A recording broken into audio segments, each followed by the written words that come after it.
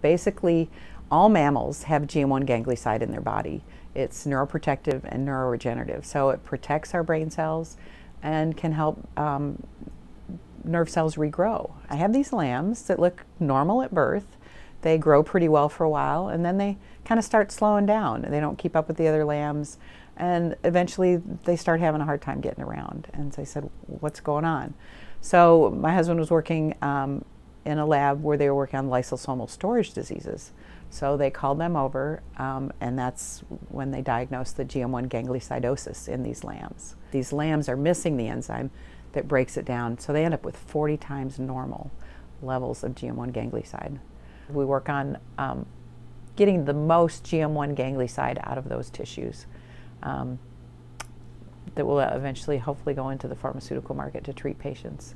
There's multiple neurologic diseases that you know the GM1 is applicable for. Um, we started out with spinal cord injury and Parkinson's.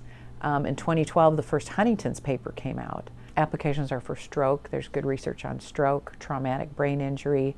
We were also approached um, about use for uh, glioblastoma, so brain tumors. We eventually would get this down to a, a white powder and that's the that would be the pure GM1 ganglioside. Then it can be um, rehydrated for patient use. So we feel the best route of administration would be intranasal, a high pressure pump that would you know get it across the blood-brain barrier into the brain where it needs to go for patients. Or if they're already symptomatic, uh, intrathecal, so actually right into the spinal fluid. We're coming back around to a lot more interested in natural products.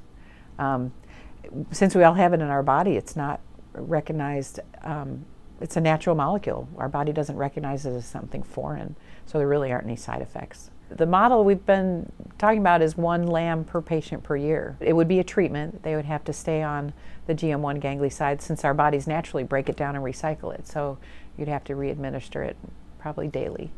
If you can make $500 on a feeder lamb um, and help somebody else out. It, there's a lot of people motivated to do this. I actually have more people interested in raising these lambs than we're able to accept because it's hard to keep the science and the sheep production at the same level. So um, the science is what's lagging right now. So we need to kind of push the science ahead further before we can take more sheep producers.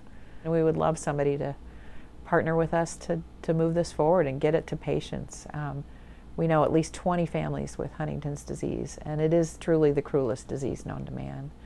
And it's just so hard watching symptoms and the disease and the demise of our friends as we know we have a very promising treatment.